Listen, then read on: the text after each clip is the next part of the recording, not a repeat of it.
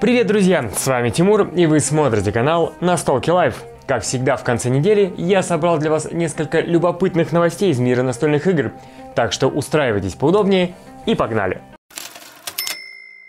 Первая игра в сегодняшнем выпуске разделит от двух до четырех участников на команды пилотов одной из известнейших франшиз. Команда Maverick Goose и Iceman Slider устроят в следующем году воздушные тренировочные полеты в игре под названием Top Gun Strategy Game. Участникам предстоит, разыгрывая карты, выполнять фигуры высшего пилотажа, а также координировать свои действия с системой контроля вооружения. Проведение сложнейших воздушных маневров и блокировка целей противнику обеспечат быструю победу. Подозреваю, что релиз игры состоится аккурат к выходу фильма – в следующем году выйдет игра, вдохновленная европейским фольклором под названием Betwixt and Between. Игрокам предстоит взять на себя роль магических сущностей, чтобы найти свой путь в исследовании мистических земель и поиске волшебной эссенции. В течение игры участники будут драфтить карты и комбинировать размещение тайлов с перемещением персонажа для получения динамичных комбинаций и сбора эссенции. Впоследствии из полученной субстанции игроки смогут создавать заклинания, которые будут приносить преимущество их владельцам – а победит игрок, самый успешный в создании заклинаний. Совсем скоро серия игр 5 Minute пополнится новым представителем. Для тех, кто не знает, эта серия начала свой путь с Кикстартера и обрела неплохую популярность и две версии игры – 5 Minute Dungeon и 5 Minute Marvel. Это быстрые карточные игры на менеджмент руки до 5 человек. Они не очень сильно отличались игровым процессом, но имели разную тематику. Третьей игрой в серии станет совсем новая разработка под названием Five Minute Mystery и будет отличаться не только темой, но и в корне новым игровым процессом. Участникам предстоит разгадывать тайны и искать преступников по уликам, разбросанным в картах дел. Ну и как всегда, это нужно будет сделать за 5 минут. В комплект игры, кроме карт, войдет устройство с символами, позволяющее подбирать коды а также жетоны улик с кодами на них в виде цветовых комбинаций. Так что очень интересно посмотреть, что же такого нового они там придумали, тем более что Five Minute Dungeon была очень приятной игрой. На днях на Кикстартере запустили проект под названием Divinity Original Sin, основанный на одноименной видеоигре.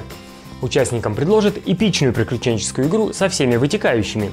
Динамично развивающийся мир, последствия сделанного выбора и увлекательные тактические сражения. За сюжет будут отвечать книги истории, а карты событий, разложенные вокруг игрового поля, будут влиять на сюжетные повороты. Для любителей пластика, очевидно, предусмотрели специальный набор миниатюр с боссами, а для тех, кому ну совсем деньги девать некуда, придумали фирменный набор с красками за 60 долларов. Развлекайтесь. Давайте перейдем от сложного к простому. В следующем году мы сможем собрать у себя в гостях до 13 человек, чтобы поиграть в Rocket Cats.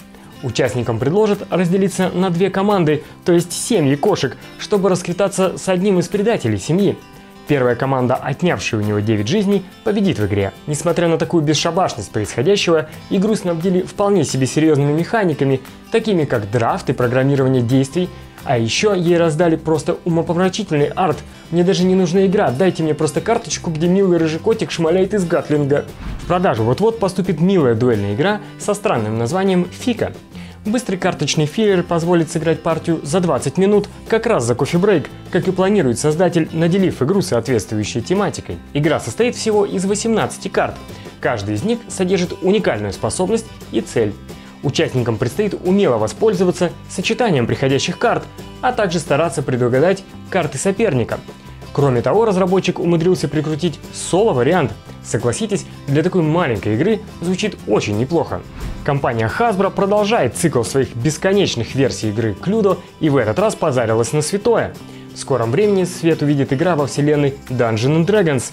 Ну и сюжет у нее будет соответствующий – у архидемона Зриэля была украдена инфернальная коробка с секретами храброй партии приключенцев. Приспешник демона убивает одного участника партии и втайне занимает его место, чтобы выяснить судьбу коробки Властелина.